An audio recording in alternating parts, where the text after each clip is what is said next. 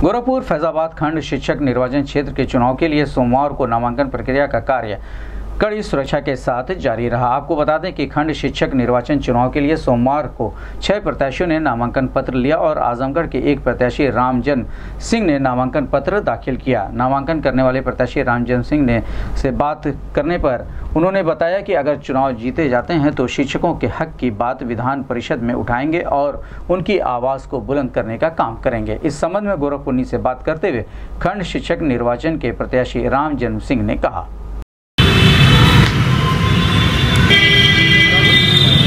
Yeah, बोलवा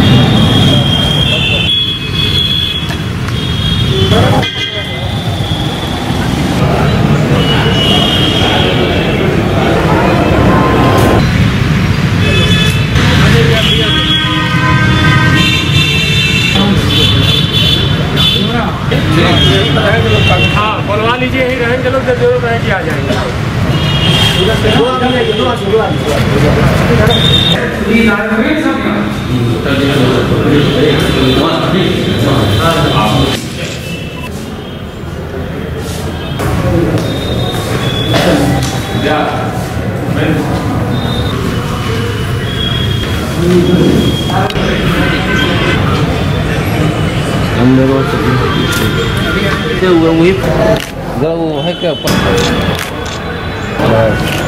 अंदर ही बना रहे मेरा नाम है रामजन्म सिंह। मैं आजमगढ़ का निवासी हूँ। हाँ सर आपने नामांकन किया है। हाँ। क्या आपकी प्राथमिकता रही अगर आप चुनाव मेरी प्राथमिकता पहले है जो शिक्षा में आमूल चूल परिवर्तन करना है। जो शिक्षा का विनाश हुआ है चाहे कोई भी सरकार रही हो उसमें अब तक हमारे कोई भी विधायक चुनकर जाकर के उस पर ध्यान ही नहीं दिया।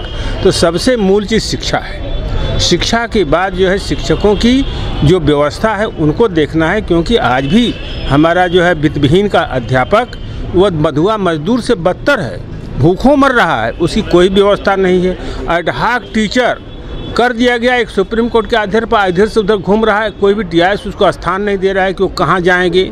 ये सारी समस्या वर्तमान में हैं।